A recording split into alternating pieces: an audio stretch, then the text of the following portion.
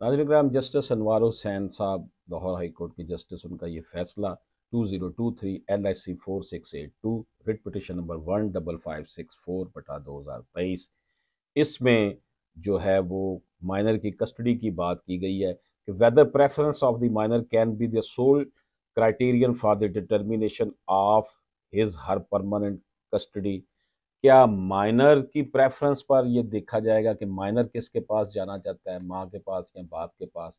क्या उसको देखा जाएगा? Preference of the minor can not be the sole criterion for the determination of his her permanent custody यानी कि माइनर की मर्ज़ी सिर्फ़ एक यही सोल पर्पज नहीं है सोल क्राइटेरिया नहीं है। सिर्फ़ अकेला यही मैार नहीं होगा कि बच्चा कहता है, जी, मैंने माँ के पास जाना है या बाप के पास जाना है।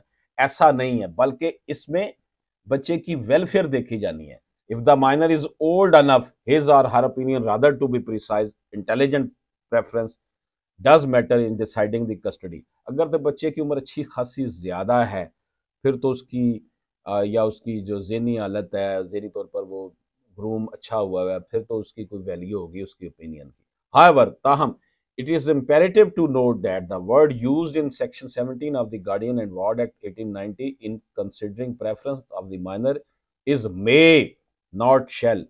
ये may लिखा गया है कि ये अदालत की मर्ज़ी है कि उसकी प्रेफरेंस पर बच्चे की कस्टडी दे शेल का मतलब शेल लाजमी के तौर पर होता है मे का मतलब हो सकता है जो लीगल लैंग्वेज में होता है in case reported as Basmat Ayesha versus Mansoor Manzoor Hussain and other P L D nineteen eighty five S C चार सौ छत्तीस the supreme court of Pakistan minor is not the best जज for his her own welfare कि बच्चा जो नाबालग बच्चा है, ये P L D nineteen eighty five S C चार सौ छत्तीस में नरेट किया गया कि बच्चा अपनी वेलफेयर को बेहतरीन तरीके से जज नहीं कर सकता। Her and his her choice will only be consider if it is in the best interest of the minor इसकी चॉइस को तब ही कंसिडर किया जाएगा जब माइनर की वेलफेयर के लिए ये होगा। नाबालग बच्चे या बच्ची की जो वेलफेयर के लिए होगा, तब कंसिडर किया जाएगा। Therefore it is for the guardian court to carefully determine as to how much preference and importance should be given to the choice of the minor ताहम ये गार्डियन कोर्ट गार्डियन कोर्ट जो होती है ना, वो parent का उसे दर्जा होता है। वो वालदेन की तरह सोचती है। तो उसने ये सोचना होता है कि जनाब कि प्रेफरेंस उसकी राय को देनी है, हालात, वाकयात को देनी है।